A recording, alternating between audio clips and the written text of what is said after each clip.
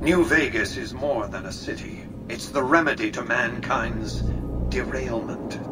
The city's economy is a blast furnace in which can be forged the steel of a new rail line running straight to a new horizon. What is the NCR? A society of people desperate to experience comfort, ease, luxury.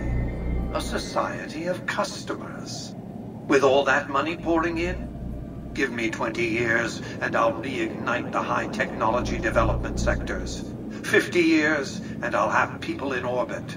100 years and my colony ships will be heading for the stars to search for planets unpolluted by the wrath and folly of a bygone generation.